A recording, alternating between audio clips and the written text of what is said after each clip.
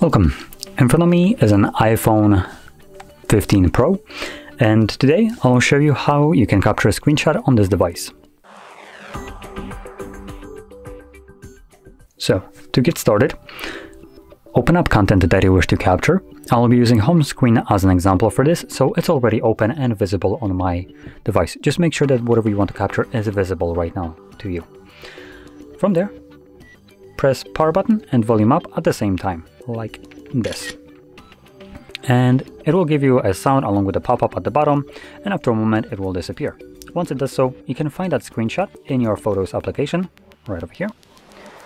And it will be visible under Library. Okay, disregard these photos.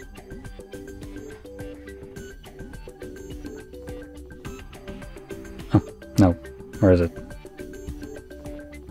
There we go. So once you go to all photos, you can see it right here.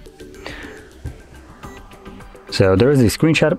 Now, that being said, there is also an easier way to find it later on. So if you want to come back to your screenshot, you can navigate to albums, scroll down, and in here we are looking for screenshots. And you can see it, it's right here.